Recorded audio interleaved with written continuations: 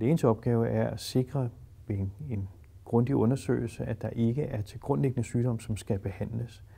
Der er forskellige faretegn, man skal være opmærksom på, altså voldsom forværing, hvis det flytter sig, man har vægttab eller andet. Der kan være til grundlæggende sygdom, udstråling ned i benene, at man pludselig ikke har så mange kræfter i den ene side, hvis ikke man kan komme af med vandet ved, ved vandladning.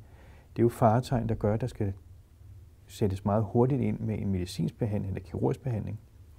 Så det opgave er at sikre, at der ikke er den her type sygdom. Er der ikke det, så er behandlingen, at man skal være aktiv, altså man skal ud og bruge sin krop, og man skal være så tæt på sit daglige aktivitetsniveau, som det nu kan lade sig gøre.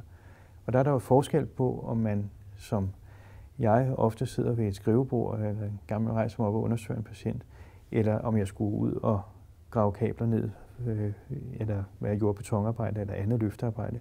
Det er klart, at jo mindre, hvad skal man sige, skæve belastninger man får, jo hurtigere kan man vende tilbage, og jo mindre hensyn skal der tages på arbejdspladsen.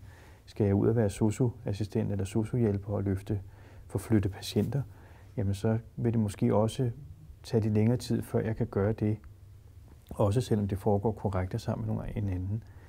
Men man skal stadig gøre det i det omfang, man nu kan. Det er faktisk en, en stor del af behandlingen.